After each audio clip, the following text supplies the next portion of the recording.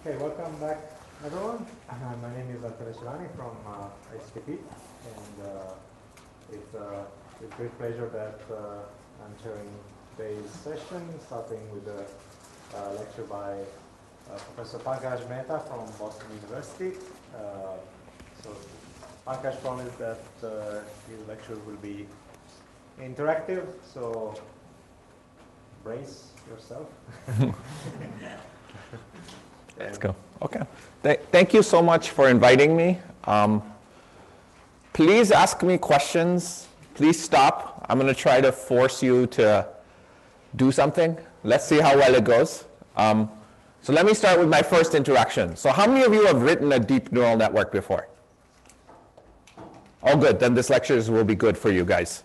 I was afraid that they'd be too basic, but actually, so the goal of the first three lectures is to get you used to opening up a Python notebook and being able to write a deep learning model. Okay? And so I'm going to walk you through the first three lectures are about understanding it. And then the last lecture, I'm going to try to tell you some new research that we've been doing, which is this very mysterious thing about deep learning networks, which is that they work despite the fact they have so many parameters that you would think naively they shouldn't be able to work at all. So we've been trying to understand that. And so that's going to be the last lecture. Um, so before I go on, I mostly don't do machine learning. Uh, I don't like machine learning, actually. Um, but I feel like to be a good critic of machine learning, you have to understand it well, right? So most of what I've learned about machine learning has been about um, teaching people about, uh, trying to understand it, and then teaching people I think there's a lot of um, hype, a lot of crazy things people say about machine learning that aren't true.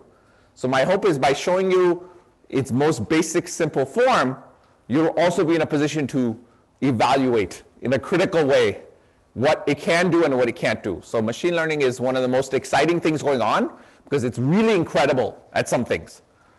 But what's surprising is that people, it's really good at A, and people say that it's really good at B. And B and A aren't exactly the same. And by the end of this talk, when we go to the end of the four lectures, hopefully you can understand what I mean instead of in such abstract language. So mostly I work on biological physics. Um, and if you want to talk about, there's a lot of people talking about things like this, non-equilibrium StatMech, and how cells process information here. So we spend a lot of time on that. We think about ecology, we think about collective behavior, we think a lot about gene networks. So if you're interested in any of those topics, come find me. I love chatting with students. I love chatting with actually all scientists. It's one of the great pleasures of uh, this job. Um, and in machine learning, we've done a lot of stuff, and most of what I'm going to be doing today is a small section of this very long review I wrote based on a class I've been teaching at Boston University for almost six, seven years. And every year I tried not to teach it, and every year the students bully me into teaching it again uh, because everyone wants to know what machine learning is.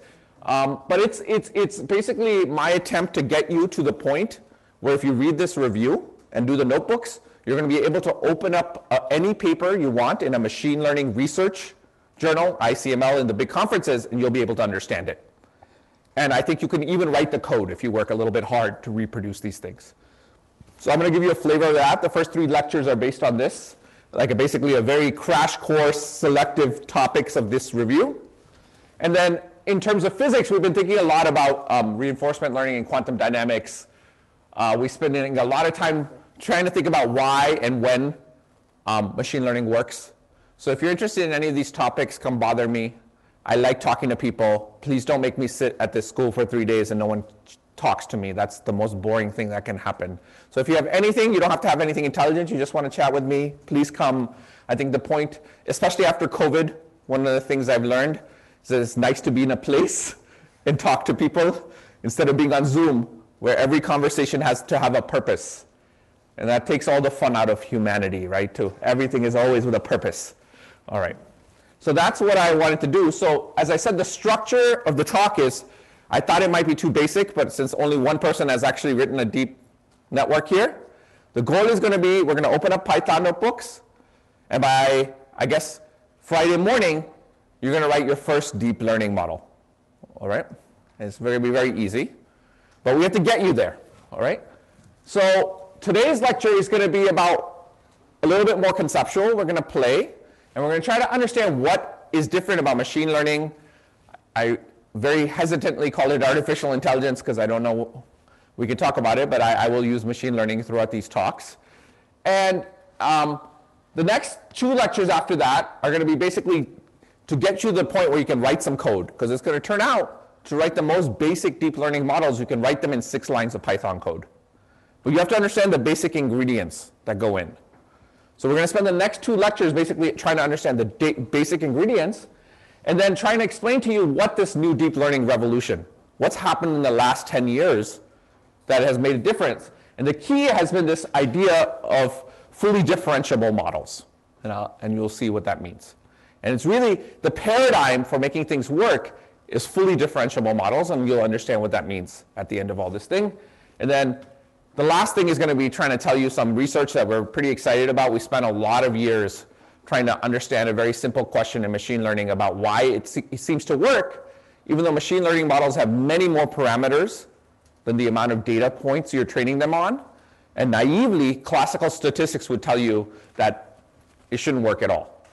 And there's a lot of research on that. We found the research to be very mathematical and lacking intuition. So we redid a bunch of what are called cavity and very complicated spin glass calcul- inspired calculations, but I'm just going to tell you the results and the intuitions that result from that. So that's going to be the last part. All right. So I'm going to now do this bad thing where I um, start with this first lecture. Okay. Um, so how many of you are able to open up Google Colab? Did any of you, did you read my email? Did you guys try to open up Notebook One? All right, so we're gonna, be, we're gonna spend most of, I have until 10, 15, what, I have an hour and 15 minutes there, right? Okay, 10, 15, okay. Good, um, so what we're gonna start is, um, let me unplug this and do this horrible thing that I'm not supposed to do, but I'm gonna do it anyway.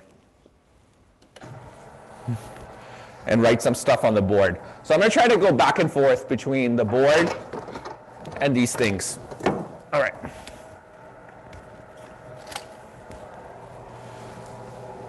So let's let's let's start with um, some basic. Uh, wow, these are interesting chalk holders. I like it.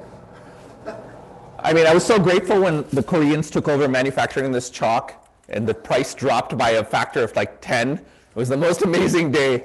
right, the Hagoromo chalk. The, I can't tell the difference. People claim they can tell the difference between the Japanese and the Korean chalk, but I can't tell at all. I, we have a box of the old ones, and sometimes I make people tell me which one's which. They can't tell. That's a lie.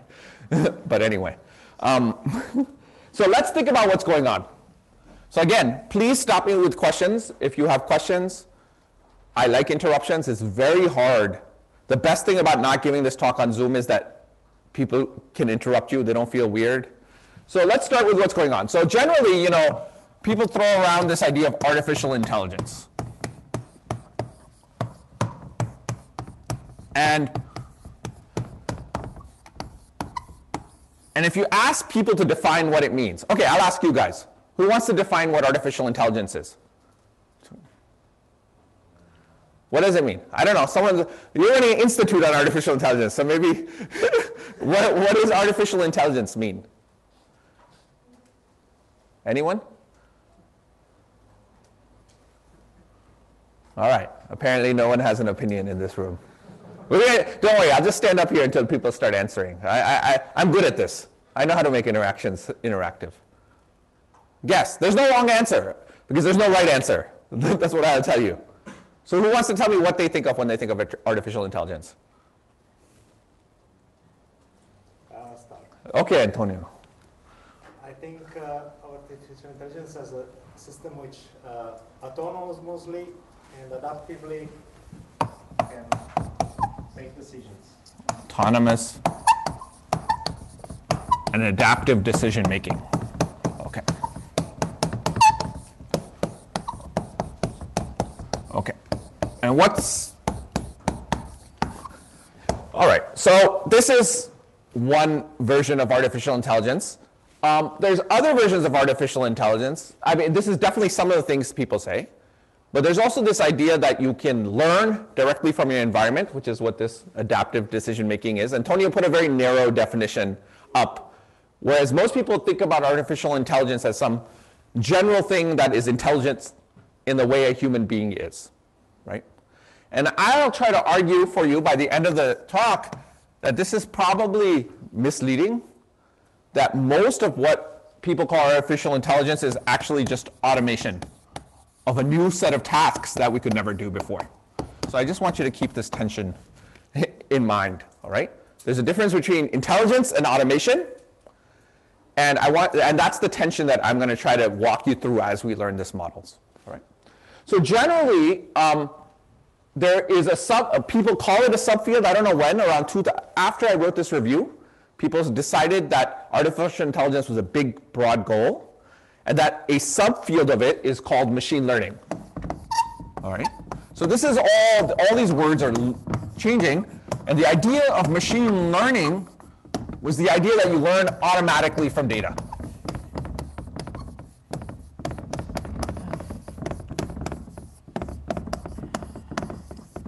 Right? So the idea of machine learning is that I give you some data, and from it, I learn things. All right? I learn how to do some task. And generally, there's three kinds of machine learning can broadly be broken up into three different kinds of components. One is supervised learning, and that's what we're going to focus on today. Uh, in these lectures, this is the only thing I'm going to talk, focus on. And the idea of supervised learning is that I give you some data, but I also give you some labels associated with the data. So I have data, I have labels. So the labels can be pictures, and is it a cat or is it not a cat? It can be, I give you a big image, and I ask you, um, how do I predict which part of it, you know, which pixels correspond to an image I go? It can be a language translation model, where I give you an input phrase in, say, Korean, and I give you an output phrase, which is in English. Right? But the important point is there's some input and there's some output, and the goal is to learn directly from data how to predict the input from the output. Right? This is supervised learning, and this is what we're going to focus on in this lecture. But you should know that generically, there's other kinds of learning. Can you even see this board? Okay, I'll write it up here. Another major branch, and I would argue is probably the more interesting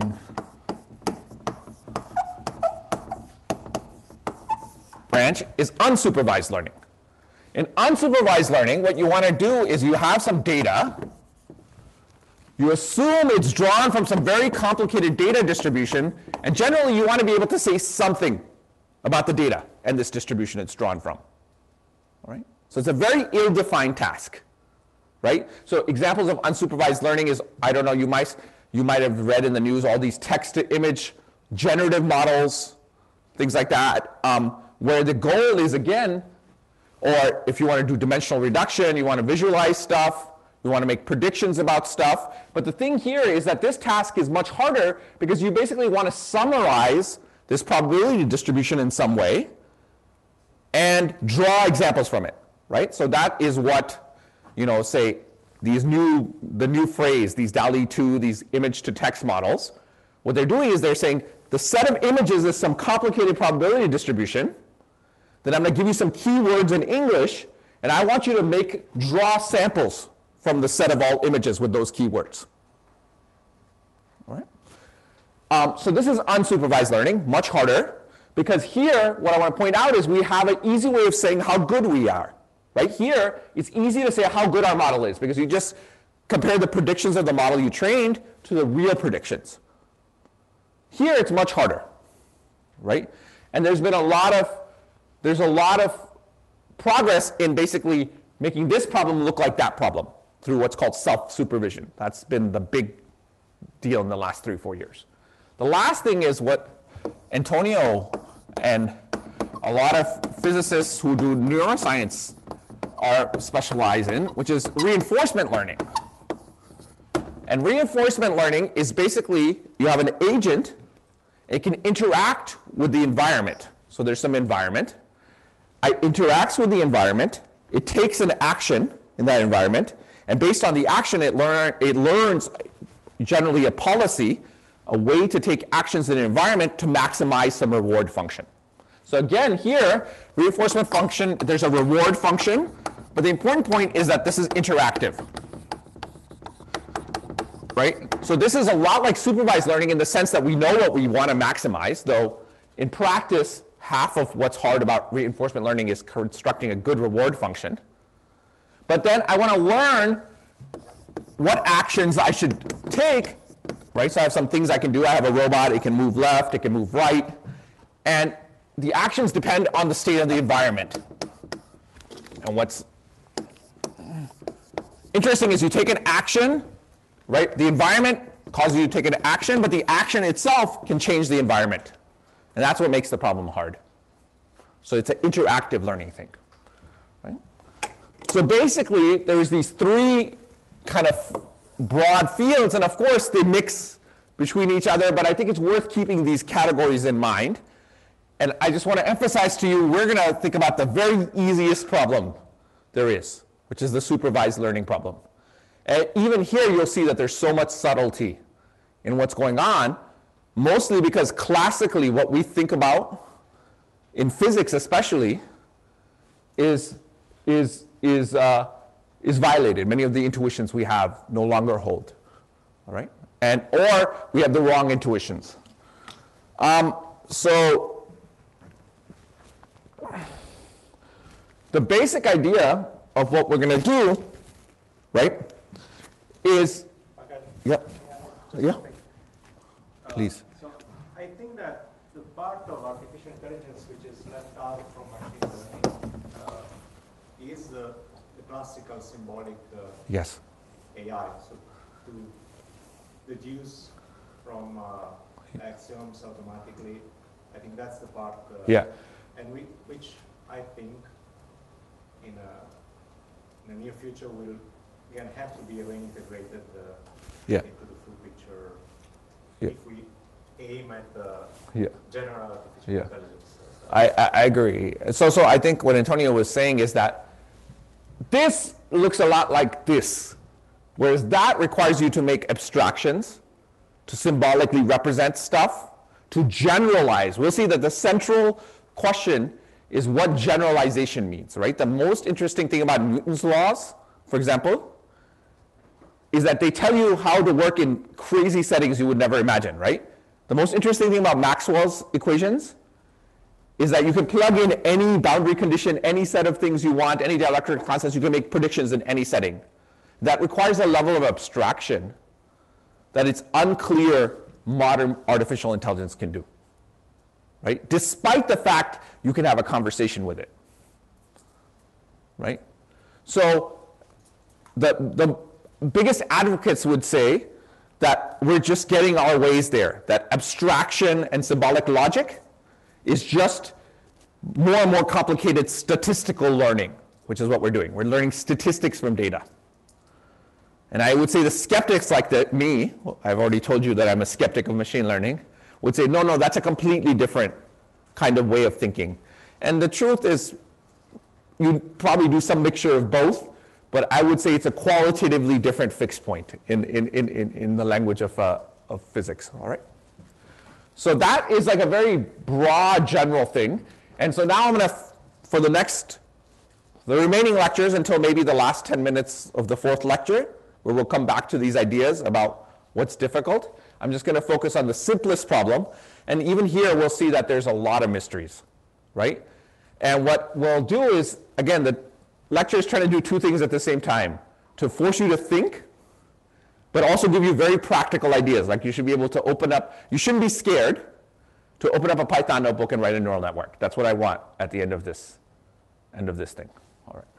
So, Yeah. is the reservoir computing is different from these three, or that is a part of? Reservoir computing is generally a form of, depending on what you want to do, but generally a form of supervised learning where you build a neural network where you have many, many features and you run a, usually it's a high dimensional recurrent neural network where you run a dynamical systems and then you learn to predict something from it.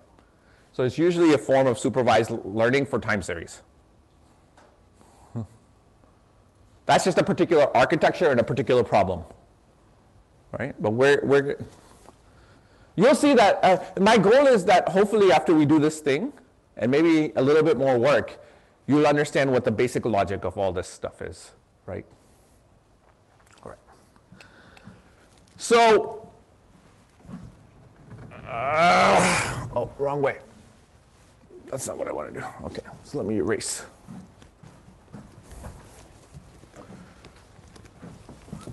Oh, it's wet. Not good. Is there a non-wet one?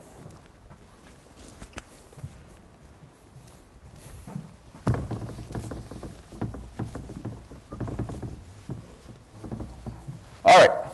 So let's get down to the simplest version of the problem. All right. The problem of machine learning and supervised learning is to learn how to predict stuff from data, right? And predicting seems like the same thing as fitting. And what I want you to take away from the next, I don't know how many, uh, uh, whatever, 20, 55 minutes, is they're completely different things. Not completely different, but fundamentally different things. All right? So the basic problem is going to be we have a data set that we want to learn from. Right? And generically, the data set we're going to denote by D.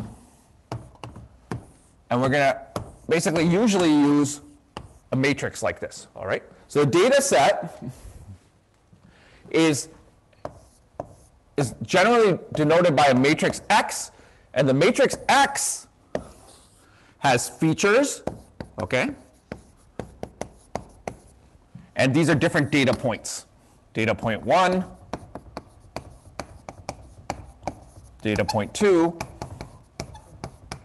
so on, until I have whatever, however big my data, point, data set is. And the point is, I can measure, you know, many, many, many, many different things. And for each data point, I measure whatever some NF features, and there's M data points, right? And it's often useful for simple notation to just make it into a big matrix. All right, is everyone okay? All right. So I have my data set, then I have my independent variables, right, which are my features.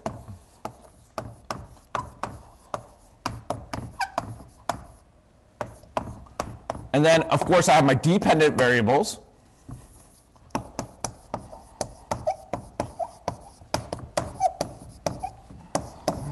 This is a vector, right? So generally y is a big, big vector. And each of those things are for each of the data points. It's a vector of the size of the number of data points I have, but it could, it could also be a, a matrix if I have to predict many, many dimensions, right? Now the next thing I need is a model right? So what we're doing really is statistical learning. So we need a model, and the model is something that has, that takes an input feature, has some parameters, and makes a prediction for what y is. All right, so a model is just take the input feature for each data point, so let me put an i here, make a prediction, and what I get to do is I get to change these parameters, right? So this is some concept everyone is, you know, set with. Then there is parameters, right?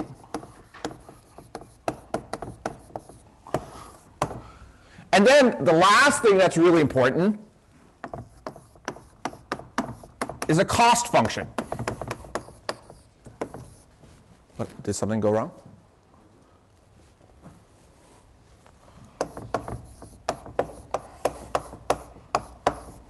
Okay. And this is All right? And a cost function is something that tells me how well I am doing at my fits. Right? So generally what you try to do is you have some data set, you try, you have a model you want to fit, right? You have some parameters that you can tune, and you're tuning those parameters to minimize the cost function. All right? Um, and so, right? So the central dilemma of all this stuff, right? And this is what I really, really hope that playing with these lectures today will make clear.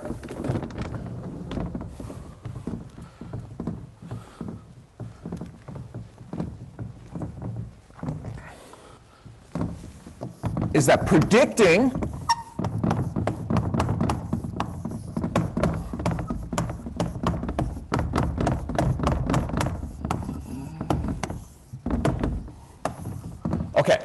so now who wants to give a guess on what predicting means and what fitting means?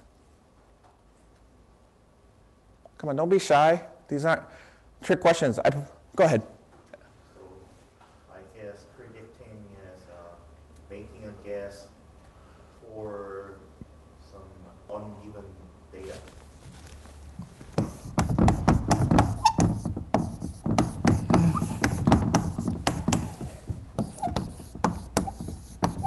And what's fitting? Fitting is uh, uh, The forecast is means mm, overlap with the real data or with research data. Means how empirical data and my prediction is actually No, that, that, that- right. So I think it's already implicit in this, but this is for new data, and this is just my data set that I've seen. So why would these things generically be different? We can think about. Well, let me ask a different question. When do you expect these things to be the same? All right. So we're gonna. I don't expect you to answer that. We'll come back and discuss it. That's what the notebook is about. The Python notebook. if my prediction is right, then fitting will be Okay. We, we get, yes. You'll find out that these things are related, but not at all the same. All right. This is the central dilemma of all machine learning. And this, the idea that I see some data, but I want to predict on new data, whatever new data means, right, is the idea of generalization.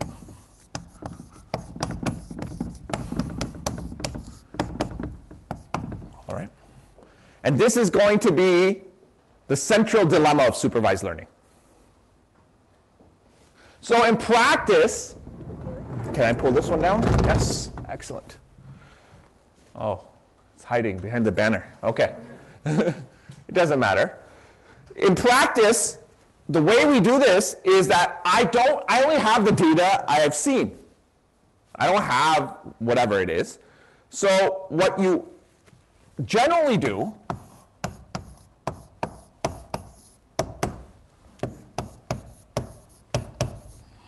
is take your data and you divide it. All right? Before you do anything to the data, no feature selection, don't clean the noise, don't do anything to it. You kind of divide your data. You say this is, and then this is the data, that training data is the data I fit things on. And the test data is going to be this new data. Right? And somehow this is going to be a proxy for data I haven't seen yet. All right? And the point is, in general, right, what you get to minimize is some error, which is, you know, minimizing the cost function of the training data.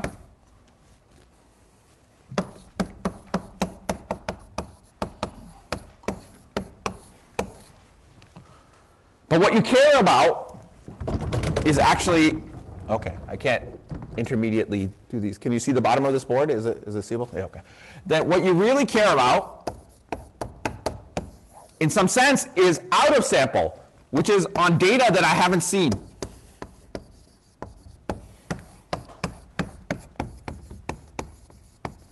Which I'm going to usually use the proxy for this out of sample error is going to be my error on my test training data set, right? The proxy is this thing.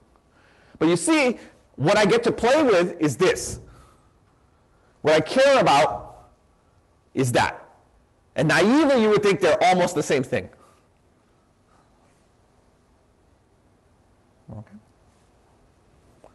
And so now what we're going to do is we're going to play around and see why they're not the same thing. All right. So now I'm going to put the screen back down. Um,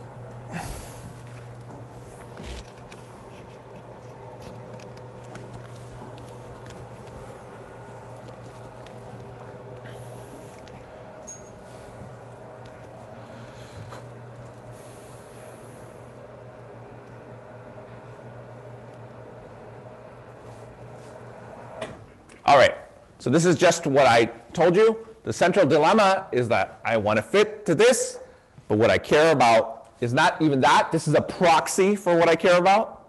This is not actually what I care about. I care about for unseen data, but my best guess at what, how I'll behave on unseen data is to take the test data and try to make predictions on that test data, which is some subset of the data I haven't done fit, fitting on. And so we're going to play with a simple task, all right, which is we're going to do polynomial re- regression, all right? And the basic idea is I'm going to generate data with polynomials plus noise, all right? So I'm going to take data, my training data in this interval, 0 to 1, so random points in 0 to 1. And then the data I generate, the thing I want to predict, is this yi. I have a stick. Oh, good old physics institutes. It's the best thing about lecturing in physics places as opposed to biology places. But there's no sticks in biology. And they don't ask you questions. It's so aggravating. It took me like five years to learn not to ask a question in the middle of a talk, because like to me, that's how you respect someone. You show you're paying attention by asking a question. But in biology, that's offensive. you should just sit there quietly and play on your phone instead. Uh, anyway, let's generate data with polynomials, all right? So what we're going to do is the data set is going to be generated, and we're going to consider two different ways of generating the data.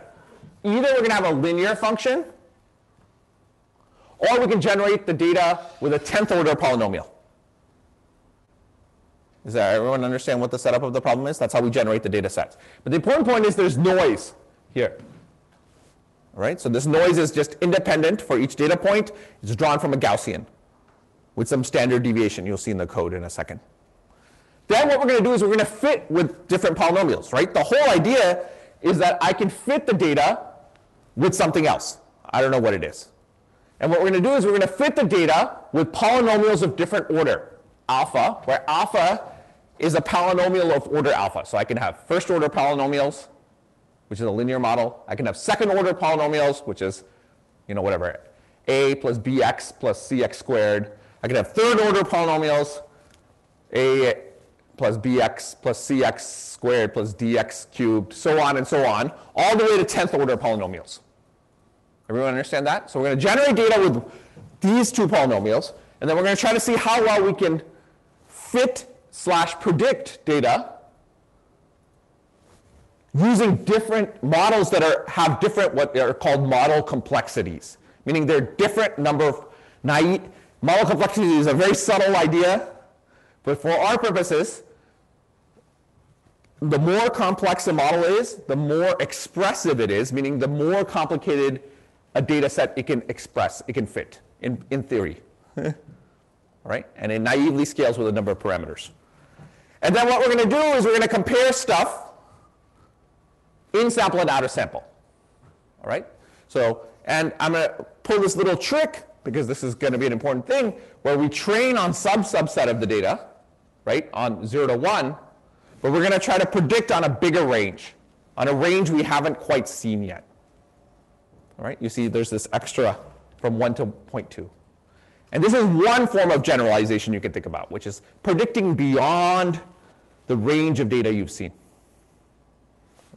So to do this, we're going to basically, how many of you used Python before? Most of you. All right. These days, it's, it's amazing. The last five years, like it went from like one hand to like three quarters. so if you haven't used Python before, find a friend.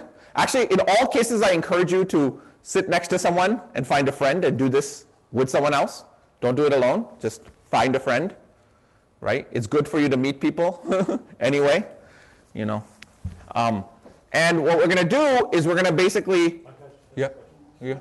Our test data set also include training data set? No, the test data set is always completely different from training data set. You ne- But range is uh, included, means training data set range is included in the test data. yes, but they're different data points. Always different data points. The point is not, the point is that they're different data points. The actual, I'm sampling, so what I'm going to do is to generate this data, I randomly sample x between 0 and 1.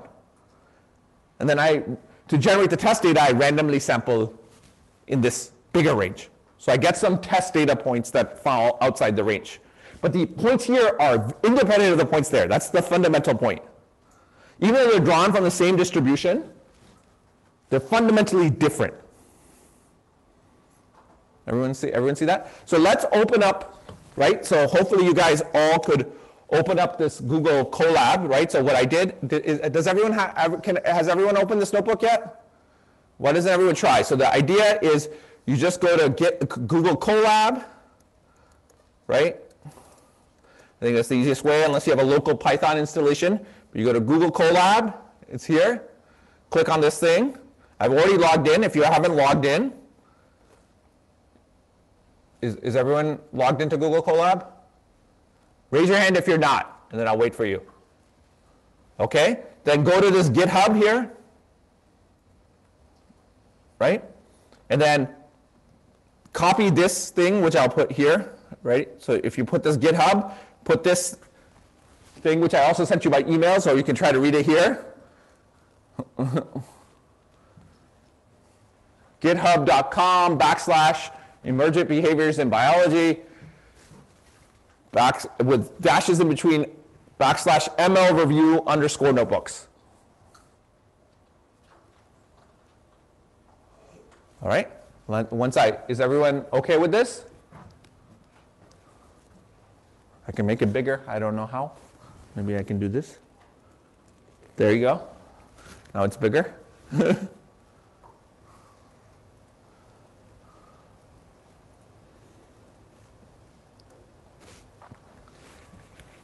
And now if I hit search, right, you should see all the notebooks pop up.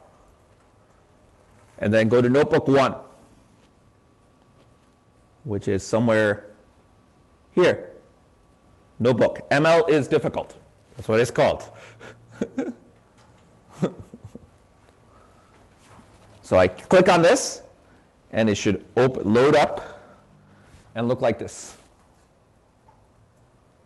All right?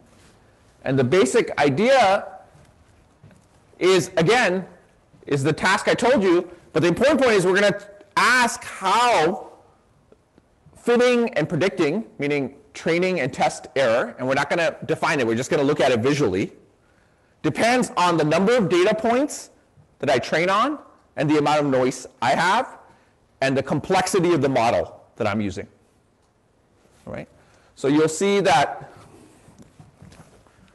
you know, so this is just what I told you, right? So this is how I generate the data.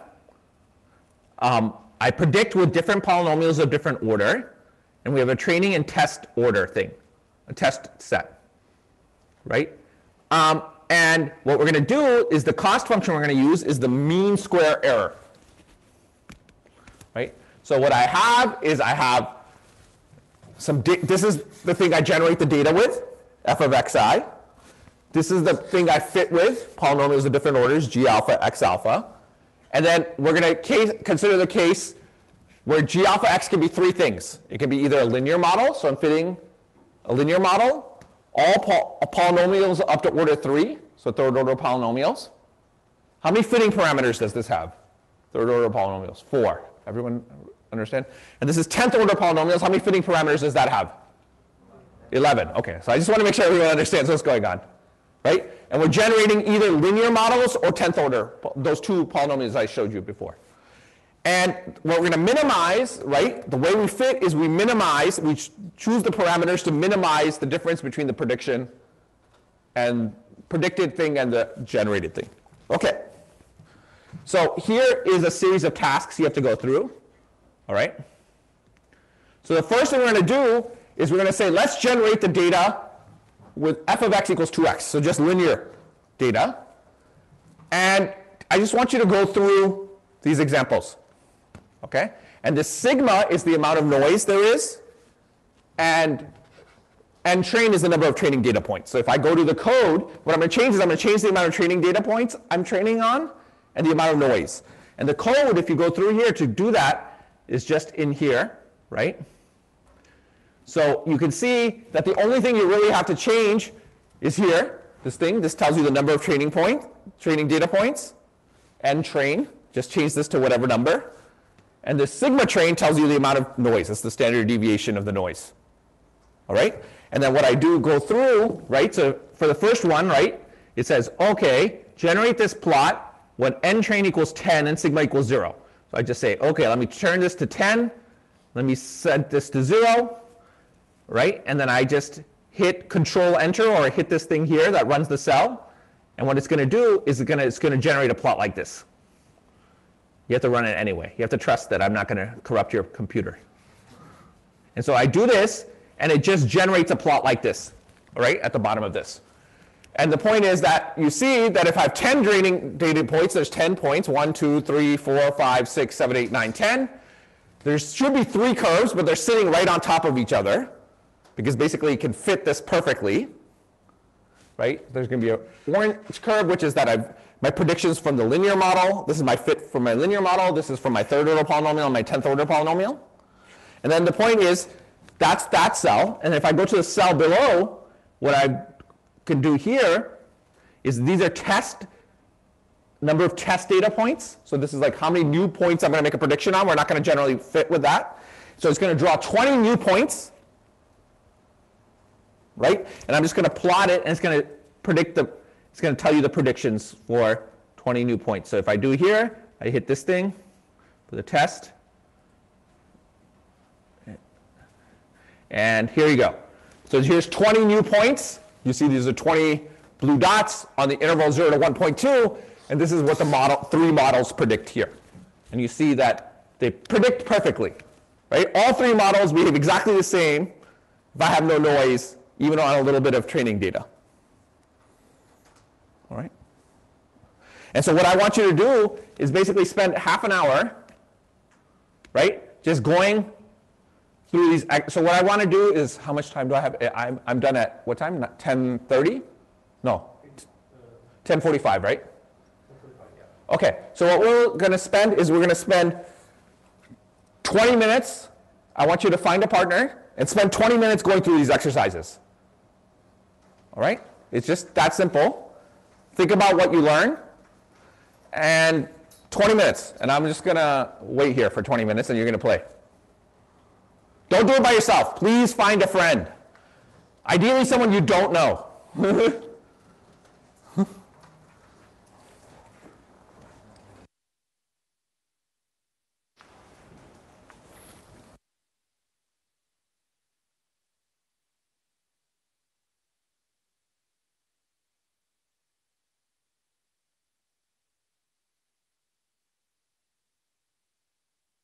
things. Um, um, this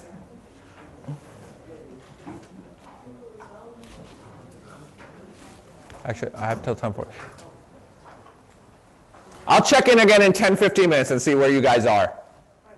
All right? And if you if you if you get done with this first set of things, this fitting versus predicting when the data is in the model class, please go to the next one too, which is fitting versus predicting when the data is not in the model class.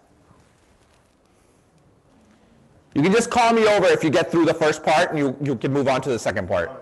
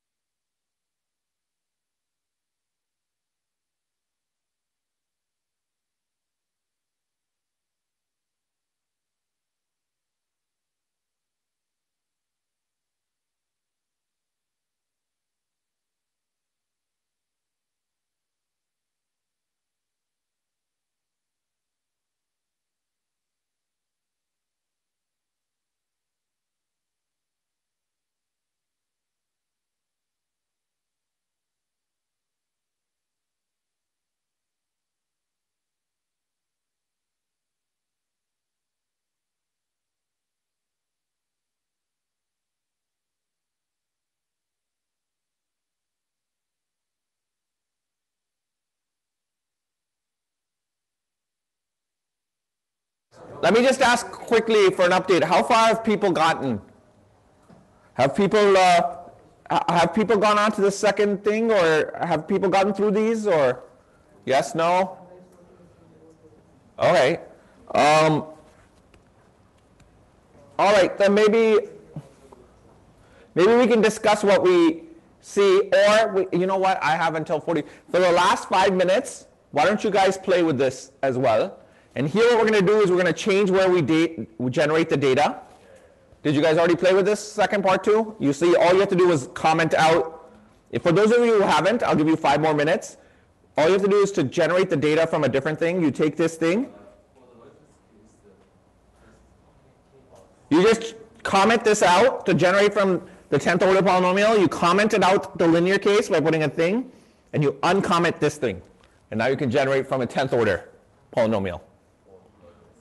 Okay, for those of you who haven't done. So do the last five minutes, and then we'll spend the last 15 minutes discussing what we learned. Hmm.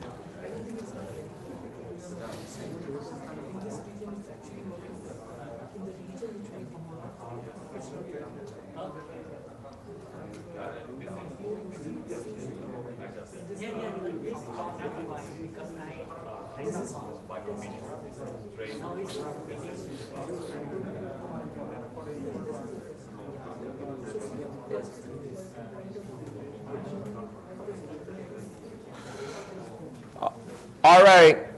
Um, you guys can keep on playing with this, but maybe we can uh, discuss. Let me show you what I, you were supposed to see and make sure that um, we get these things. So here is the kind of graphs you get in the noiseless case. And then we can discuss what it all means in a second. Right? In the noiseless case, this is where I generate the data with a linear model.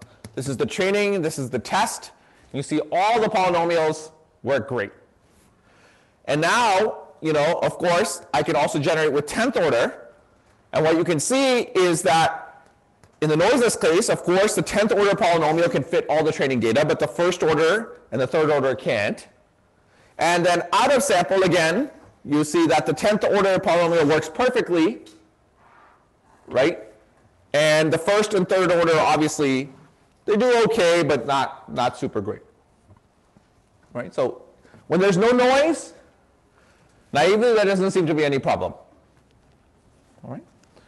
But of course, as soon as I put some noise in, right, this is the kind of stuff I get. So what's surprising is here's the linear model, right? And you see the 10th order polynomial has a lot more wiggles. If this was blown up, you'd see the yellow polynomial, the third order also has some wiggles on the training data set. And then on the test data set, yeah, they all do okay here, but then the 10th order thing just does horrible, especially in this region where I haven't seen the data yet. And then I can do the same thing with a 10th order polynomial.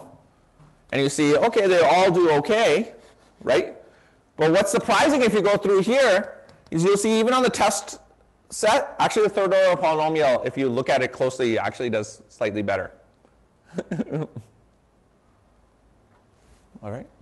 So this is the kind of thing you were trying to see, right? So this is what what's going on. And right? And here is, you know, a thousand training data points. And you see that um, you know, this is the best fits, whatever it is. But here's the most surprising part.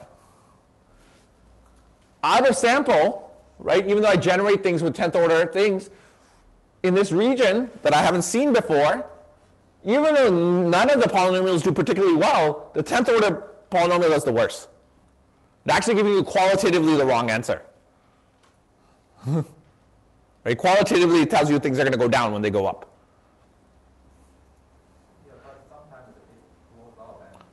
Yeah, sometimes it does, sometimes it doesn't. That's an important point. Many times, right? Depending on what's going on. But for this, for this many things, it won't change that much, that many data points. If I have 10, yes. So now the question is, what have we learned from all this stuff? Right? I have 13 minutes, so we'll spend five, six minutes of it discussing collectively. And then we'll spend the last eight minutes, I'm going to show you three graphs that basically summarize this in something called the bias variance trade-off. All right. So what have we learned? Why is fitting not predicting? What's the fundamental problem? The- yeah, overfitting is a word for it. That's true. So there's two basic problems. There's just two classes. You can basically summarize why you don't make good predictions on two, two, two basic things. Why can you overfit?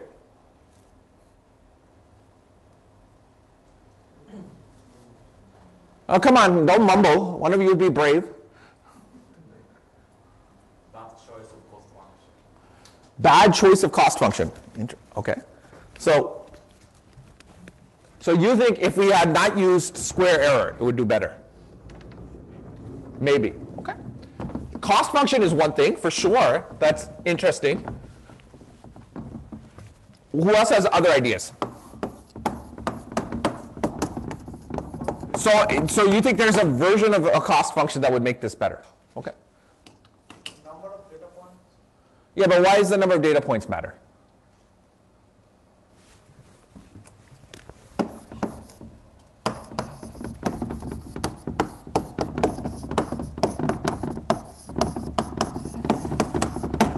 Fundamentally, why is the number of data points or the cost function matter, right? I mean, I think the cost function is part of a bigger, bigger problem, uh, is a subset of a two, there's two categories.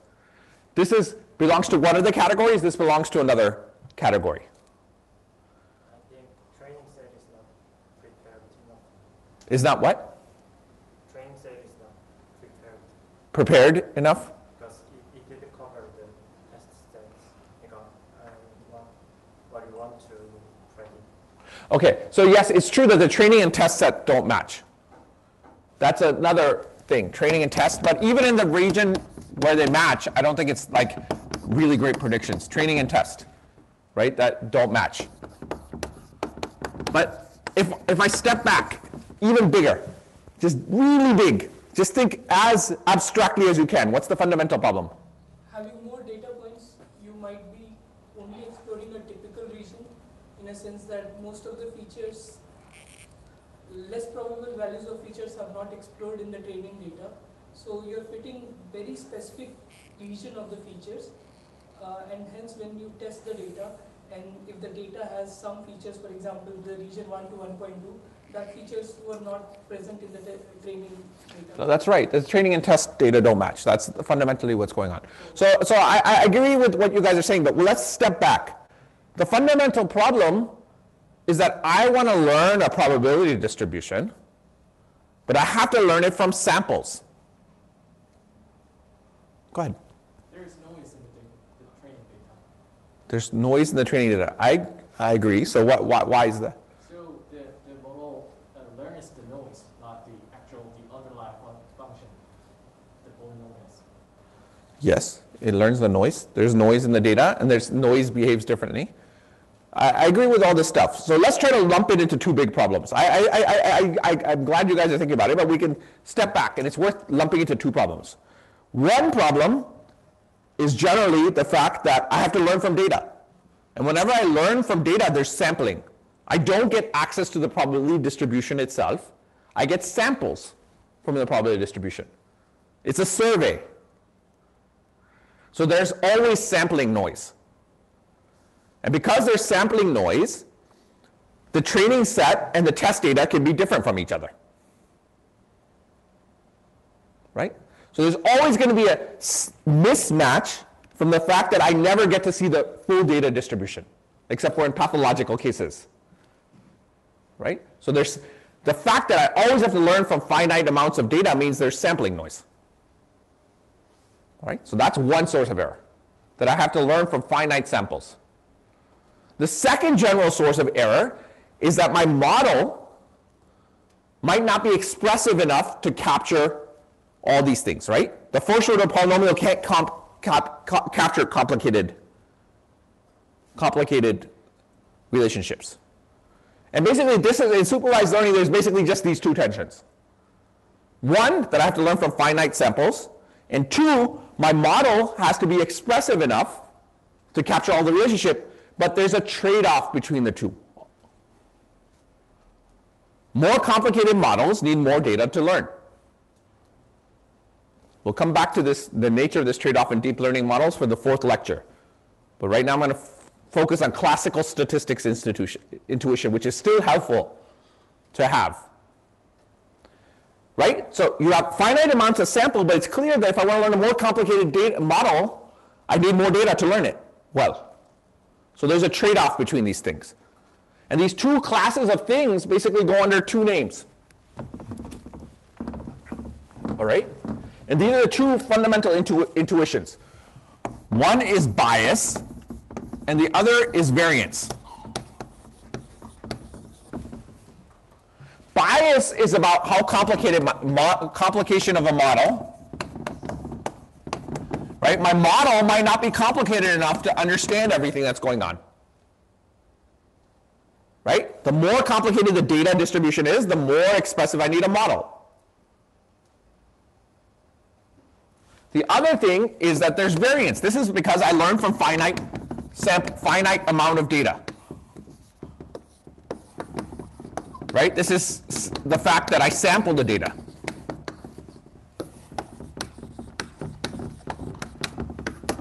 And of course, the fundamental thing is there's a trade-off between these two. More complicated things need more data. So I'm more, if I don't have, if I use too complicated a model, I won't have enough data to constrain it. And there's this tension of how I minimize both. And so the whole point is, the lessons is fitting is not predicting. Complex models can lead to overfitting. I don't have enough data to learn everything well.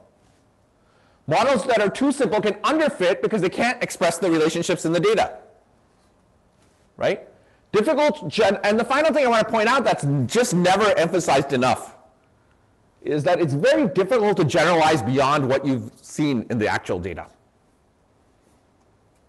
This is just true of everything.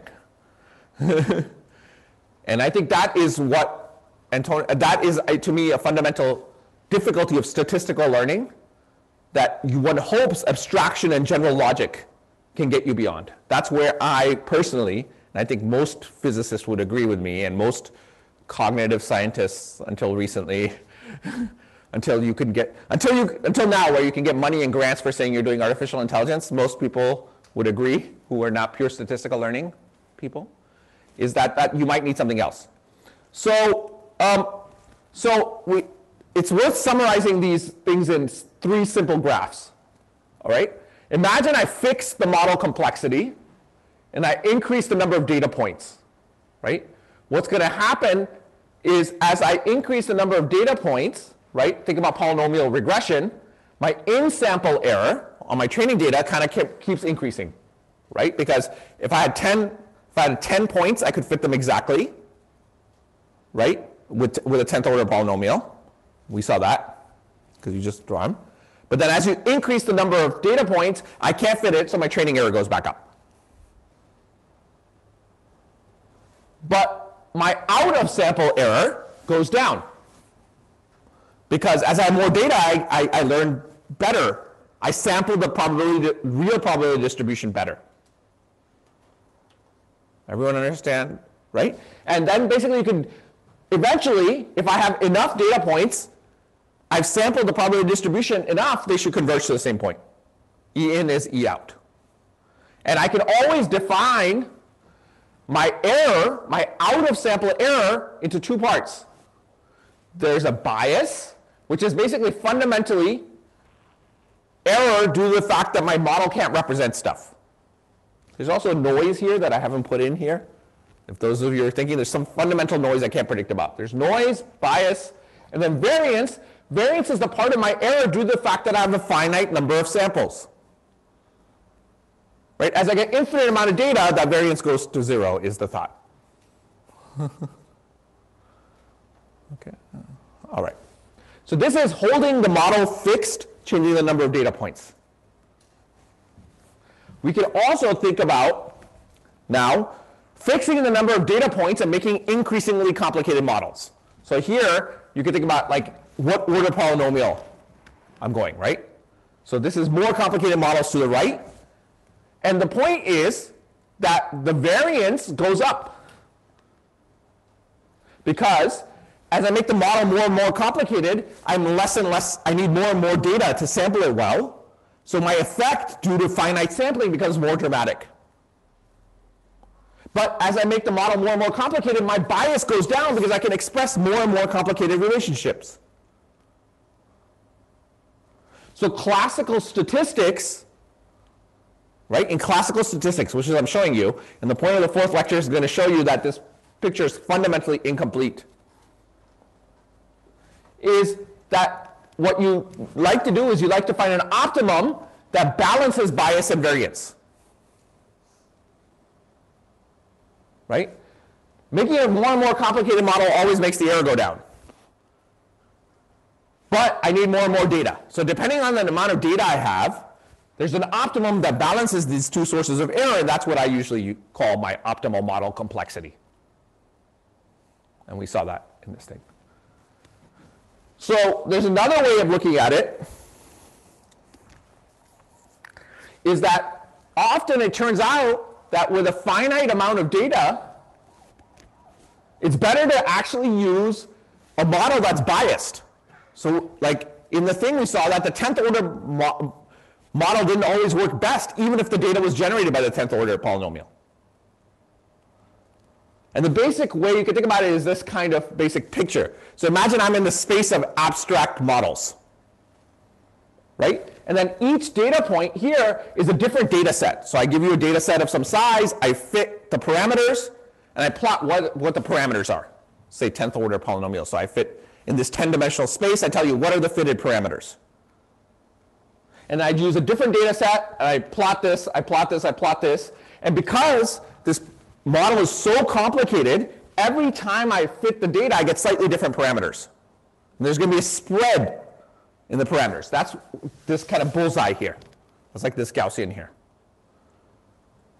And you can see that this, you know, if I had infinite amount of data, this would be the true model and they would just converge on it. But because I have finite amount, I get this kind of giant spread, right? Anytime I fit, I'm going to get this. Now I can consider a different model, which has low variance, much easier to fit. So the spread is much smaller. But even in the infinite data, it would actually not get to the true model. But you see that if for this amount of data, I, this is going to work better than that model because the spread is too large, at least. Right? That's the basic intuition. So that's basically what is going on. There's these two sources of errors, and that's what makes predicting hard. First, I need to make the model complicated enough that I can capture the real relationship.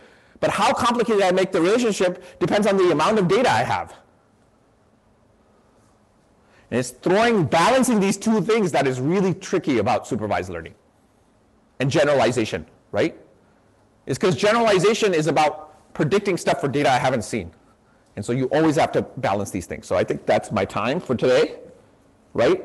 And tomorrow we'll move on from this general idea, keep this in mind, and go to more practical things about understanding how we practically fit stuff to get to deep, deep and on I think I only have one lecture tomorrow. I don't remember, but I think I only have one lecture tomorrow, uh, and, then, and then on Friday we're going to write our first first deep learning model. So those of you who haven't done it, we're going to do it with the, the simplest package there is to write a neural network, which is this. If you guys have time, you might want to play around with it. It's called the Keras, so you can go look at it. So we're going to write some, and the goal is going to be to train a simple neural network by lecture three, right? And then on lecture four, we'll come back to all the concepts we talked about today and talk about why they're fundamentally, there's like a revolution in our statistics understanding, like really a fundamental revolution in our understanding of this stuff in the last four years. And I'll try to explain to you our best understanding of that. And that's going to be much at a much higher level. It's going to be much more of a research, that's a research talk I'm going around and giving. Um, so if you can't follow everything in lecture four, hopefully the first three lectures are useful for you. All right. Sorry, I went over. I think it's break time.